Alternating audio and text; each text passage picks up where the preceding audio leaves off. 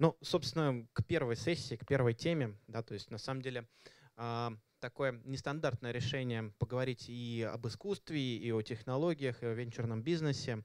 Ведь на самом деле, как вот кажется, со стороны есть огромный мир а, ребят-разработчиков, которые пишут код, они предельном большинстве случаев далеки от искусства. Для них это белый шум, просто что-то происходящее где-то непонятное. И с другой стороны, есть какие-то арт-ребята, киношники, медийщики, художники, для которых эти парни в очках, которые сидят дома, что-то делают, тоже такая же непонятная субстанция. И уже сейчас есть несколько классных примеров, когда пересечение всех этих двух миров дает нам а, достаточно уникальные а, результаты. Может быть, вы слышали просто вот буквально несколько примеров. Недавно а, ребята, по-моему, если я правильно помню, из Яндекса взяли а, нейронную сетку. Помните, была такая группа «Гражданская оборона»? Да, то есть вот они взяли значит, текста гражданской обороны, загрузили в нейронную сетку, и она нагенерировала, собственно, такие же текста, только какой-то немножко абстрактное. А потом парни взяли и спели. Получилось прикольно, но со смыслом, в общем-то, пока какие-то вопросы остаются. Следующий момент собственно, использование технологий для создания текста. Можно взять какой-то текст, взять то же самое, но другую же нейронную сеть, обученную на стихах Пушкина, бросить туда, собственно, какую-то статью, и сетка перепишет статью так, как э, это мог бы рассказать Пушкин в стихах. Да, то есть э, тоже достаточно интересный пример. Третий вариант э, — история, когда машина написала э, сценарий фильма, она не сняла, просто написала сценарий фильма на основе каких-то других сценариев, и поэтому сценарий сняли реальный фильм — странное ощущение, в общем, необычно, но тем не менее. Да, то есть все, все прекрасно знают проект «Призма», да, то есть действительно уникальное решение э, родом из бывшего СССР, которое сейчас э, является или являлось одном, одним из самых быстро растущих приложений в мире там, за последние несколько лет. Хочется, собственно, пригласить э, на сцену коллег, да, то есть э, экспертов, с кем хотелось бы поговорить, обсудить, послушать их доклады. А, собственно, Алексей Гориславский, а, исполнительный директор по медиа группы компании «Рамблер».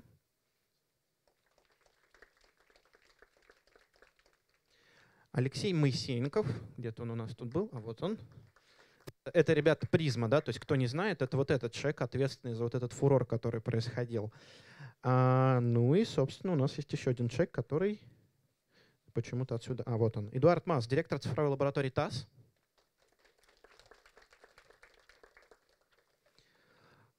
Коллеги, собственно, вопрос, как я уже примерно озвучил, про, про, про ваше мнение о том, что происходит, о том, куда все это будет идти. То есть связь культуры и искусства в интернете, медиа, а, сервисов, аудитории, что потребляют, как потребляют. И э, давайте мы, наверное, начнем с Алексея Гориславского. Алексей? Там надо нажать. Раз, раз, два. О, отлично. Еще раз доброе утро всем. Спасибо за приглашение. Я свою миссию понимаю как а, задачу какой-то камертон немножко подкрутить со стороны, да, потому что что такое Рамблер, это э, известные вам ленты, газета, Рамблер, Life Journal и так далее, это огромная аудитория, а, которая так или иначе читает или воспринимает а, в том числе и проблемы и вопросы культуры.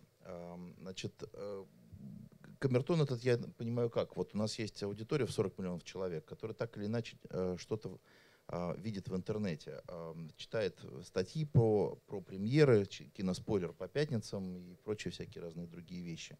А, на что-то реагирует, а на что-то нет. Вот, собственно, я про это хотел поговорить, потому что мне кажется, что от этого восприятия не очень долгий мост э, в сторону приложений и других способов довести вопросы искусства до широких масс.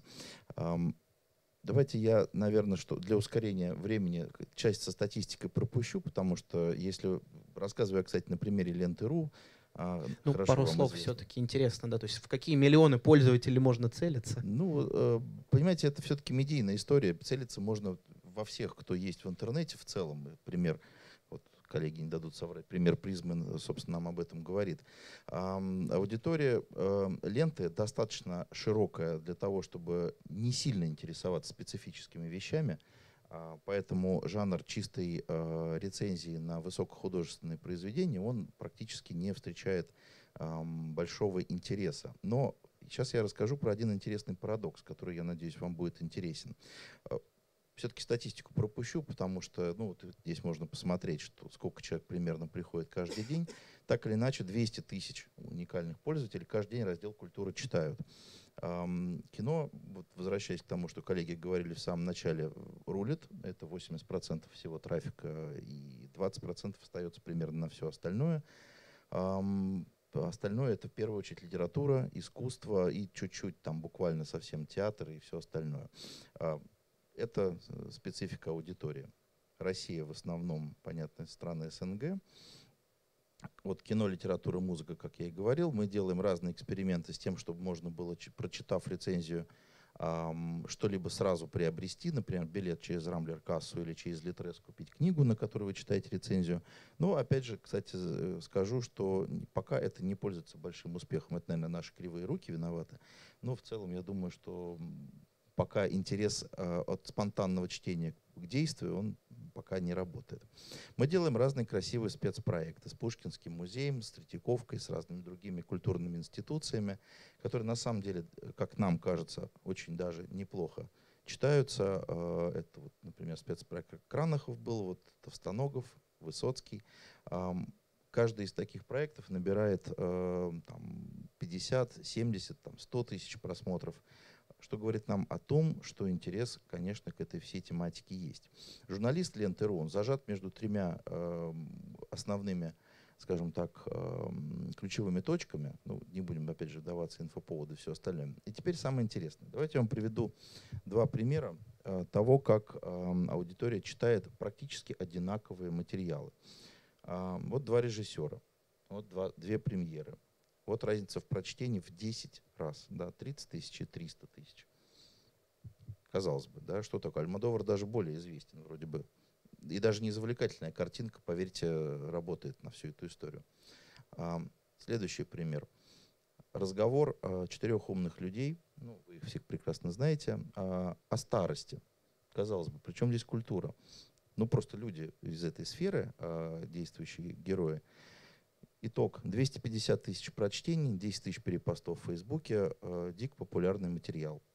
Опять же вопрос, почему именно он, а не, например, э, рецензия умного человека на свежий там, фильм или театральную премьеру и так далее.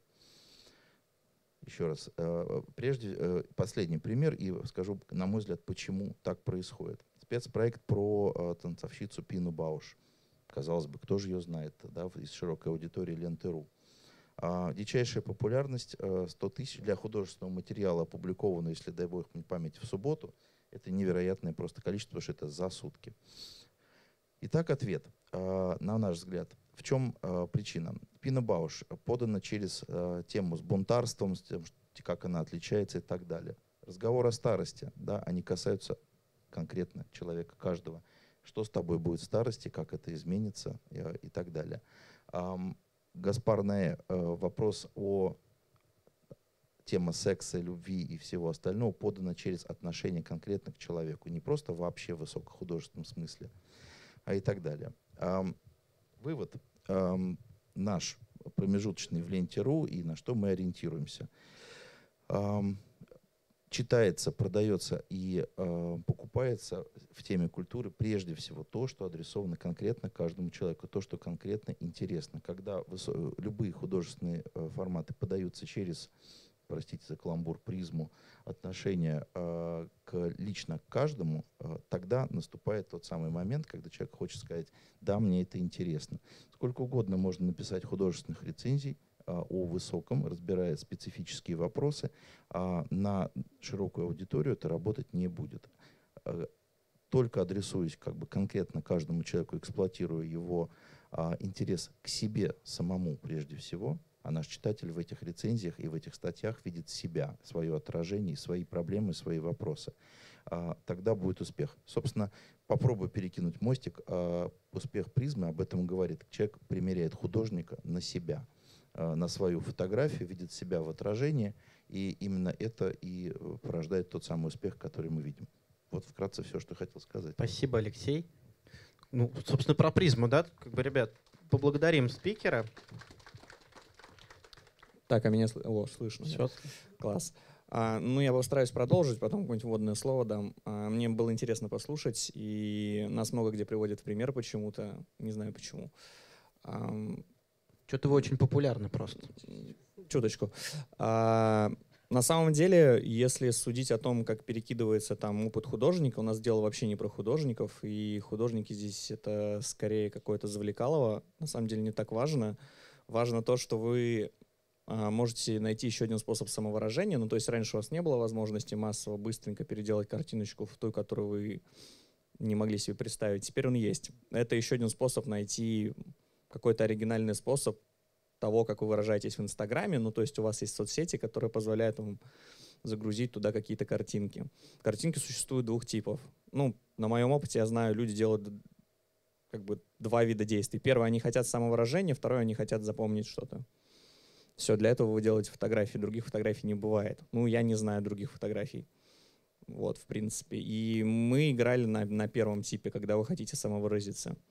Ну, вы хотите показать, какие вы крутые, классные, оригинальные. А самый классный случай, из которых я помню, нам рассказывали, это когда вот я подхожу мимо, вижу бомжа у белорусской фотку его, он как он художественный получается. Но вот раньше он никому не нравился, было 0 лайков, а теперь у меня 20. Потому что смотрите, какой он классный. Вот вот, вот такой вот случай, это и есть сила самовыражения, потому что вам эта картина как-то нравилась, вам нравился этот там сюжет, натюрморт, не знаю, а никому больше не нравилось. А тут вы что-то там нашли, и всем понравилось. В общем, на этом мы и играли. А, кратко о нас, в общем, не, не все знают какие-то правильные, наверное, цифры. А, у нас 70 миллионов пользователей, ну как 70 миллионов заказчиков, если правильно быть. А, недавно статья TechCrunch вышла, мы там что-то в топ-10 по всему миру. В вот. России столько всего людей в интернете сидят. Да, ну примерно так. Ну да, страшная цифра. Вся вот. страна. Примерно. Хоть Но... по миру размазали, спасибо. Потихонечку. Не очень быстро. Um, нас на самом деле, ну, мы существуем с июня, компания существует, наверное, с мая изначально. У нас сейчас 8 человек всего. Мы в основном занимаемся технологиями, мы не занимаемся там конечными продуктами в большей части, хотя конечный продукт у нас вроде бы достаточно успешный. По 10 миллионов на брата. Это... Да, нормально. Вот. Не, не жалуемся в целом. А, мы больше популярны за рубежом, меньше в России. Россия шестой рынок по распространению. Первый рынок это Индия, а нет, первый США получается уже, да, второй Индия, потом Индонезия, потом Китай, потом Турция, а потом, кажется, уже Россия. Ну, какой-то такой топ стран, где мы присутствуем.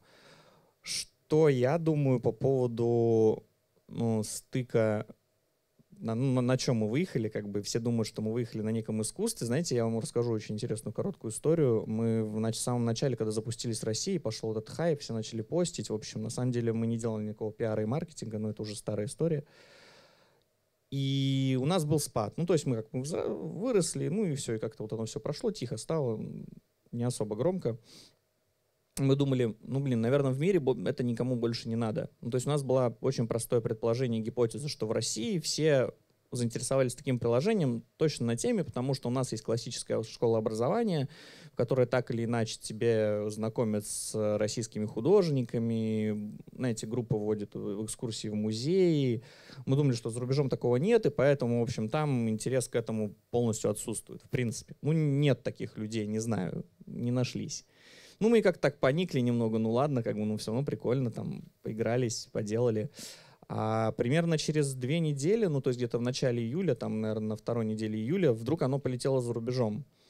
И оказалось, что на самом деле вот это предположение о том, что это все летит на художниках, оно ну, не очень верное. Все летит на силе самовыражения, как я говорил в самом начале. И всем все равно, какие там картинки. Мы меняли большую часть обложек, которые внизу, и ничего не разницы никакой. Людям, в принципе, все равно. А людям все равно намного. Еще один интересный факт — это многие почему-то его недооценивают. Это, так я называю это эффект магии. А, фишка заключается в том, что мы, когда в самом начале запускались, мы проводили, нам давали различный фидбэк, первые пользователи, и среди первых пользователей там были достаточно знаменитые люди, так получилось. И следующий фидбэк. А картинка может делаться мгновенно, ну, практически мгновенно, за секунду. Ну, там, то есть людям все равно, там, секунда, полсекунды, две секунды ну, делается, и все как бы видят результаты, там, постят, не постят, нравится, не нравится. Но если сделать этот процесс чуть дольше, секунд 10, то эффект намного лучше. А отзыв был, примерно такой. Ой, а я там увидела, там был Кандинский, он работал чуть дольше, чем работал, в общем, там, Малевич или кто-то еще. Это так круто, Кандинский сложнее. Вот. Эффект заключается в том, что людям иногда не нужен мгновенный результат, иногда скорость подачи материала и вот этой все вещи, она вообще никому не нужна, и людям просто нужно подождать. Им нравится момент ожидания. Это много кто эксплуатирует. Если вы посмотрите на большие компании типа Гугла, Фейсбука и прочих, там это очень много где применяется, но не так очевидно, но за этим стоит последить. Это так, на заметку. А еще я хотел бы, не знаю, наверное, мы больше про международные вещи, и я бы хотел, наверное, короткое слово сказать о том, как вообще российский проект э, воспринимается за рубежом. Ну, я вам скажу плохо. Почему? А, сейчас я примерно постараюсь быстро объяснить вообще, в чем вот мы стартап там простой такой, не целимся на какие-то там определенные... 70 миллионов этого не целитесь, нечаянно получилось. Да, само собой. Вот. А фишка в том, что большинство зарубежной тусовки, в частности в долине, ну и везде, оно ориентировано на так называемые знакомые проекты. Ну, это я такой термин себе придумал. Знакомый проект — это там, где есть, а, люди, которых, которых уже знают, ну, они работали в Фейсбуке, Гугле, Амазоне и т.д. и т.п. Можете перечислять дальше там топ больших 10 компаний. И там есть и основатели, это обычно люди, которые оттуда. К ним доверие сразу повышается. Второе — это люди, которые уже до этого сделали 3-4 проекта, и вот у них там что-то там попровалилось, они чего-то попродавали, не попродавали, закрыли, не закрыли, и вот они сделают что-то новое. А если вы просто с горы какие-то чуваки из Москвы, ну, все очень-очень сложно. И в основном с тобой должен общаются только потому, что ты, ну, действительно выстрелил. Ну, то есть там сложно отрицать, поэтому, в общем-то... А, и это очень плохой факт, то есть вам будет тяжело, потому что к вам отношение будет совершенно другое. К вам, у вас не будет живого интереса к вам. Это такое. Я был во всех фондах долины. Ну, в буквальном смысле. Там есть такая улица, Сент-Хилл Роуд, вот там есть все. Вот я со всеми пообщался. Я, в принципе, в курсе, как оно выглядит. Если вы смотрели сериал «Силиконовая долина», вы можете сравнить нас с ними. О, очень похоже. Все прям один в один. Ты немножко похож на главного героя, но самая малость. Ну, только у меня девушка вроде была. У него тоже, наверное, будет. Да? А, ну блин, я, ну там третий сезон там вроде не было. Вот.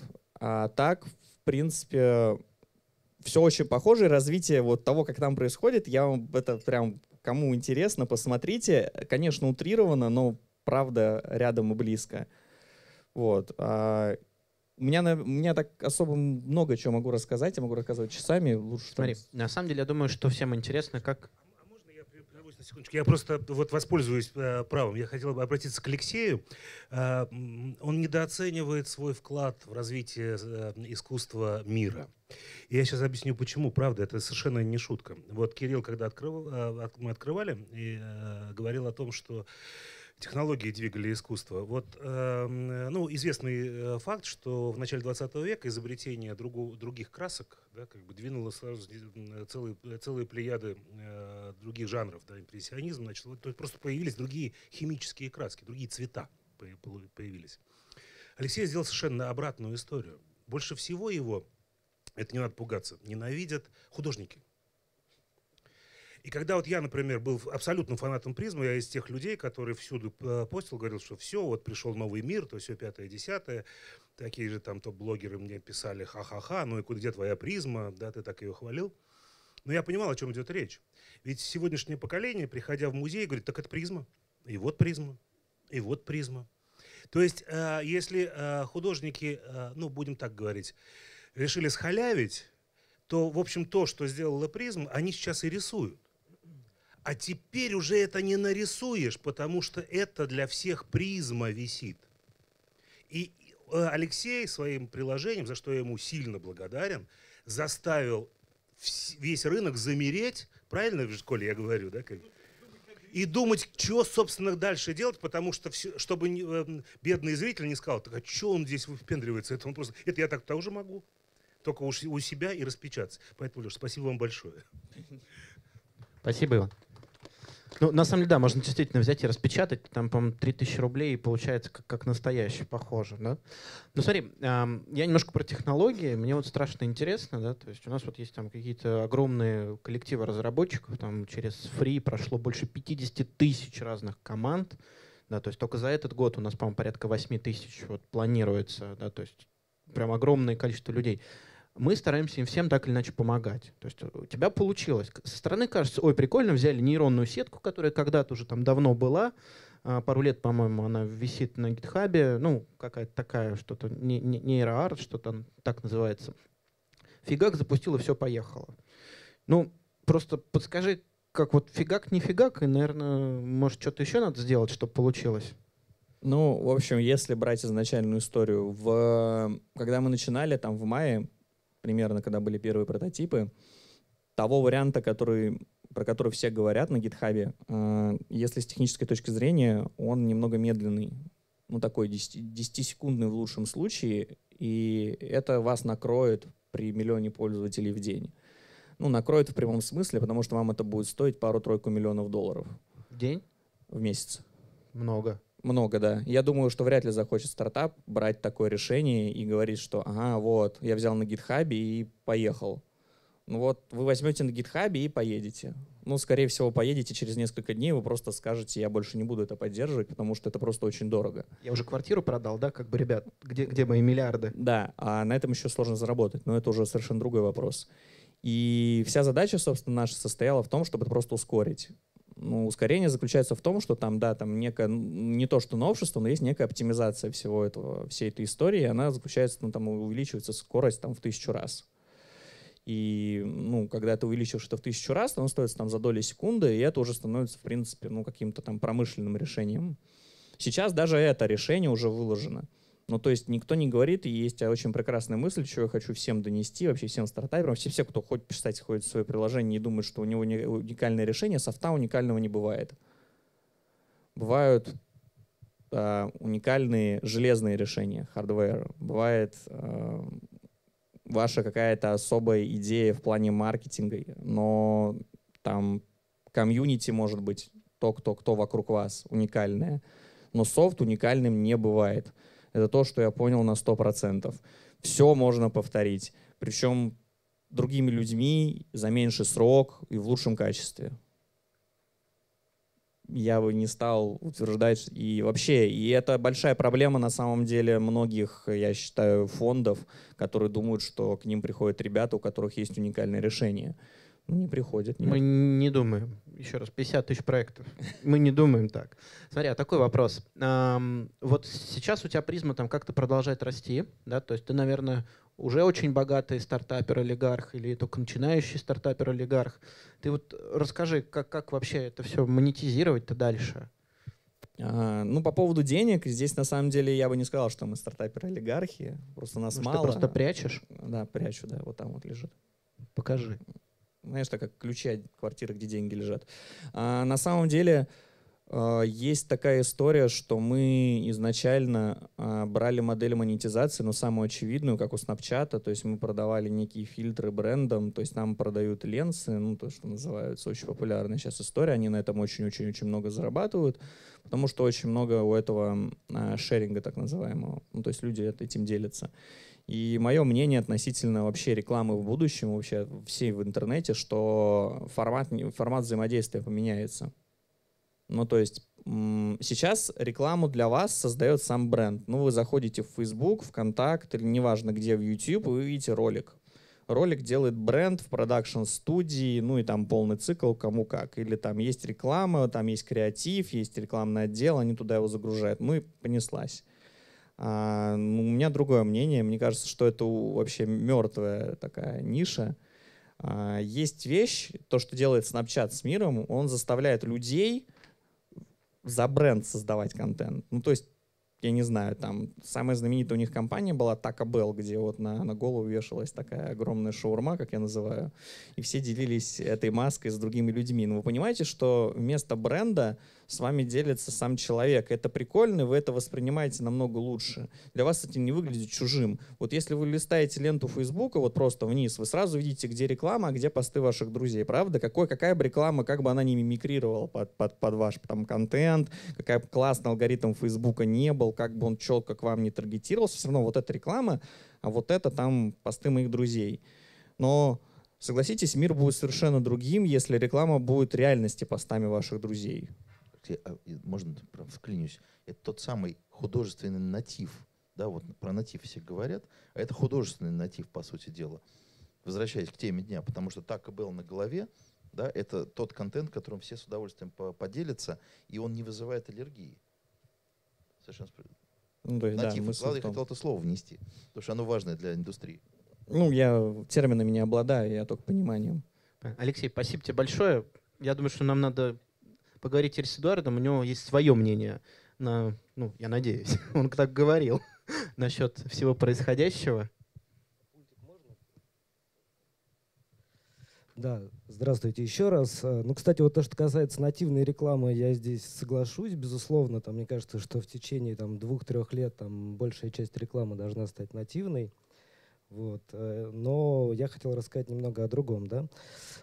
Э, я Скажешь пред... пару слов про ТАСС, просто про цифровую лабораторию, чтобы коллеги понимали? Ну да, я представляю цифровую лабораторию ТАСС и еще являюсь заместителем IT-директора по инновациям в агентстве. То есть, несмотря на то, что мы информационное агентство и занимаемся контентом, поставляем его, наверное, всем СМИ да, э, на российском рынке, э, я сфокусирован в большей степени именно на новых технологиях, на экспериментальных технологиях, то есть на тех технологиях, которые в ближайшие 3-5 лет э, должны стать ключевыми и, на наш взгляд, поменять э, медиарынок, либо как-то на него повлиять.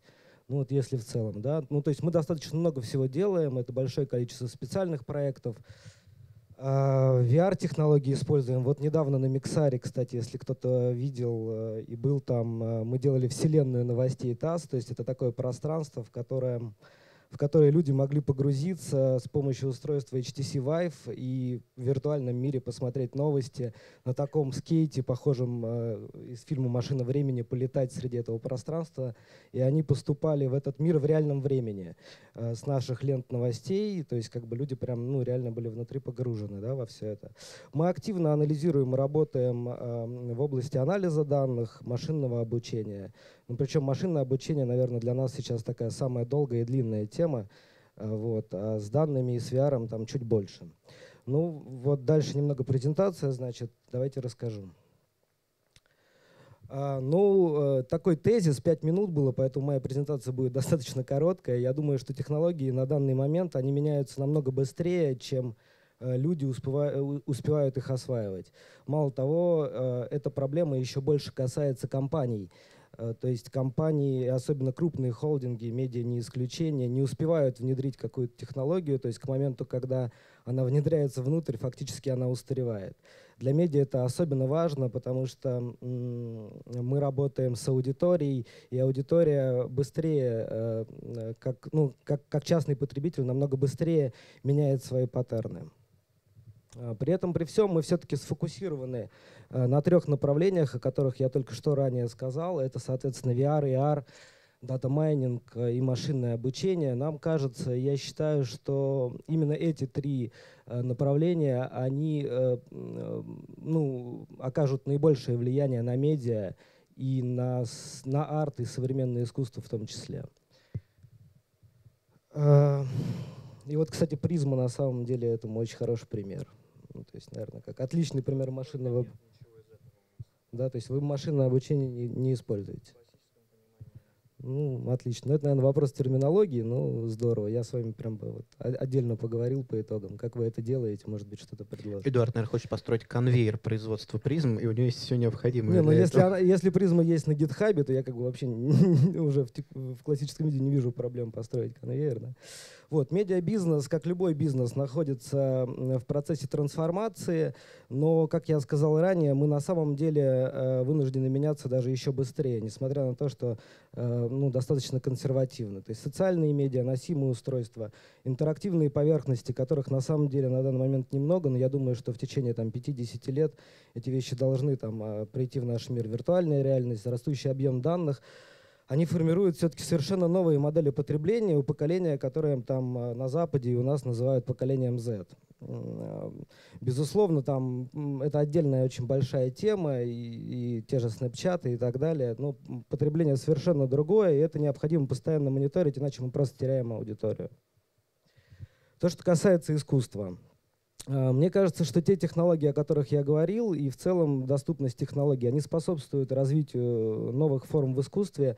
Э, примеры интерактивного арта, digital-art а, да, там, и web-art а, они ну, достаточно давно э, применялись, но и, именно сейчас э, э, я ожидаю и хотелось бы на самом деле, чтобы таких проектов становилось больше, потому что, на мой взгляд, Э, большие данные и возможность использовать реальные данные э, в инсталляциях, э, в тех же перформансах, в каком-то, ну, в любой форме интерактивного искусства, оно ну, позволяет делать по-настоящему какое-то живое произведение.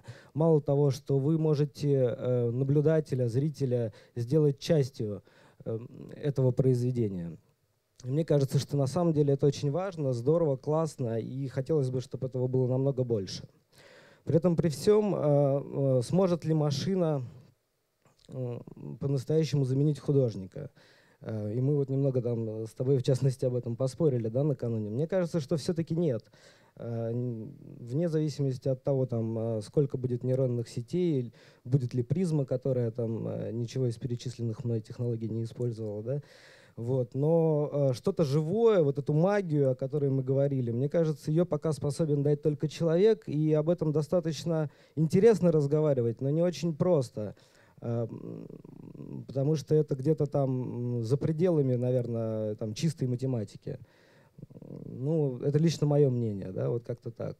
А вообще в целом, если, ну, мой спич, он такой не очень длинный, но заканчивая, на самом деле, мне кажется, что медиатехнологии и искусство э, — это такие три достаточно важные вещи, которые могут э, быть в синергии с друг другом и развивать друг друга. Причем, когда я здесь говорю о медиа, я говорю о медиабизнесе. То есть и в первую очередь о медиабизнесе, потому что э, медиабизнес имеет проблемы, э, на данный момент имеет проблемы с двух сторон — то есть, с одной стороны, мы вынуждены внедрять новые технологии, следить за ними. С другой стороны, медиа — это бизнес, в котором очень большая творческая составляющая. И мы вынуждены искать новые креативы, и все еще нуждаемся в, в людях, в творческих творческой профессии, в редакторах, да, там, бильд-редакторах, э, художниках. именно поэтому медиа, она в некотором смысле ставит вопрос э, э, сразу в две отрасли. С одной стороны, она обращается к творческим людям и говорит, давайте искать новую форму, с другой стороны, пытается найти эти технологии. Вот очень хотелось бы, и я верю в это, э, что не только технологии станут э, драйверами э, искусства, как уже сегодня было сказано, но и искусство будет задавать новые стандарты для развития технологий и медиабизнеса в целом. Ну вот у меня, наверное, все. Спасибо. Ну, смотри, э, да, сорвал аплодисмент. Смотри, на самом деле, э, я согласен здесь вот э, с Иваном Демидовым, что э, сейчас технологии создали такую ситуацию, что художники вынуждены искать новые ниши. То есть это немножко даже как-то э, синергетично с тем, что у нас делал директор акселератора Дмитрий Калаев. Да, то есть его сегодня нет, но тем не менее можно провести параллель. Он говорит, что, слушайте, вам всегда нужно быть просто на шаг впереди, да, то есть постоянно на шаг впереди. И вот технологии — это тот паровоз, который заставляет э, двигаться дальше, и этот паровоз как э, раньше, в общем-то, э, стал новым методом передвижения, да, и э, технологии делают а, искусство ближе к нам и а, значительно проще в потреблении. Вот у меня буквально летом была ситуация, я был в отпуске, мы пошли в музей, и вместо там какого-то аудиогида там раздавали какие-то Samsung Galaxy э, с дополненной реальностью. Я долго думал, зачем, почему, оказалось, там просто почему-то инструкции не было, что когда ты, вот, собственно, приходишь в музей, ты берешь этот Galaxy, и тебе говорят, а теперь вот туда наведи, и там показывают, как вот э, в старине реально действующие элементы вот этого дома, где мы были, работали, как ходили люди. То есть и, э, собственно, аудио совместно вот с дополненной реальностью, оно позволяло глубже погрузиться. То есть это уже не тот аудиогид, который просто в ухо вам что-то говорит, вы это еще и видите. Да, то есть э, тематики дополненной реальности, виртуальной реальности, э, судя по ощущениям, э, это завтрашний день. Уже сейчас есть примеры э, использования этих технологий для бизнеса. То есть, например, одна из, сколько я помню, российских компаний является э, одним из лидеров разработки 3D-фильмов и 3D-игр. То есть, может, может, многие не знают, но вот сейчас вот Oculus Rift, э, там решение от HTC, это настоящий срыв головы. Вот вы одеваете э, вот эту штуку, и э, в реальной жизни перед вами просто доска, вы где-нибудь в гараже, в офисе перед вами доска, просто по ней надо пройти, а там дальше лежит плюшевая игрушка. Да, то есть кажется вроде ничего такого. Когда вы одеваете вот этот Oculus, вы стоите на вершине МГУ, доска, соответственно, туда, вы смотрите вниз, вверх, вправо, влево, страшно, реально страшно. Там еще наушники, звук есть. И когда вот вам надо пройти вот эти жалкие два метра, это безумное переживание. А еще надо наклониться и взять игрушку, которая там это кошечка, да, то есть какое-то животное. Это, это безумно страшно. То есть то, что вот Эдуард говорит, э, что виртуальная реальность будет использована в медиа, это ну, очень смотри, интересно. Ты, ты сейчас э, как бы сразу о нескольких вещах сказал одновременно. То есть э, вначале ты сказал о том, что как бы есть digital для классического арта, для музеев и так далее, и безусловно ну, новые технологии, они меняют там разные сферы бизнеса, да, и музеи не будут от этого отставать. Это здорово, классно, и действительно и VR, наверное, и видео 360. И опять же, возможность попасть в любой музей мира там, э, и посмотреть его видео, да, из дома, видео 360. Все это, наверное, будет. А вторая история, это все-таки, наверное, ближе к тому, что при помощи технологий ты даешь возможность пережить некоторый новый опыт для человека, который он э, без этих технологий пережить не мог. Это вот скорее вот про, этот, про это МГУ, да, про эту плюшевую игрушку. Да, я видел э, эту историю, о которой ты говоришь, она действительно там, ну, завораживает и но говорят, что люди там, ну, в общем, еще симу... в странном состоянии после этого ты аттракциона выходят. Симулятор да. Супермена не видел. Одно дело, ты стоишь на МГУ, другой стороны, ты летишь вниз потом. Ну, э, да, да, да, это круто. Но вот э, э, в некотором смысле это же был, по-моему, ну, не арт-инсталляция какая-то. Это ну, такое развлечение, в некотором смысле э, не знаю, квест какой-то, да? Слушай, ну настолько подробно вот это сделать, это все Да, ну хочется, чтобы больше появлялось таких вещей именно ну, в искусстве, то есть как бы почему там, э, не знаю, там не взять и не, не сделать там перформанс в течение недели или двух недель в таком же помещении, не транслировать его в видео 360, дать возможность людям побыть в, в, внутри этого переживания, да? Почему мы, э, ну, в России, по крайней мере, не видим до сих пор там примеров VR-театра, либо театра с дополненной реальностью, реальностью. То есть, ну, мне хочется, и я жду вот, ну, такого рода вещей. То есть, как бы, если, кстати, кто-то здесь есть, кто хочет такие вещи делать, я готов, рад, я очень хочу про это разговаривать. Ну, это очень интересно. Просто, ну, вот если мы говорим о каком-то будущем, мне кажется, планку надо ставить, ну, там, выше, выше. То есть, как бы, и ну, именно, смотрите, вот сейчас в VR и AR, если отдельно про эту часть говорить, там есть такая история про то, что все как бы одели эту штуку, попробовали, а второй раз не возвращаются. Вот мы там с тем же Калаевым про это много раз разговаривали, да, на, то, на, на том же Миксаре. Почему не возвращаются? Потому что как бы нет, э, устройства стали уже очень доступными, я говорю как минимум про картборды, да, а контента нет. Причем не просто контента нет, а нет контента, который ты можешь пережить только в этом устройстве. То есть чего-то необычного. И мне кажется, что как раз люди искусства и люди, способные создавать какие-то произведения, э, могут и э, должны, наверное, искать эту форму. То есть, ну, это было бы классно. Я бы вот, ну, VR, VR-театр посмотрел. Я тебя со всех сторон поддерживаю. На самом деле, мы уже даже немножко выехали за время нашей э, секции, и мне кажется, дальше правильно позвать Анну, и она нам как раз расскажет про то, как вообще технологии могут оказаться на службе у искусства и чем они вообще могут быть полезны и что там будет. Спасибо вам большое, коллеги, спасибо аудитория.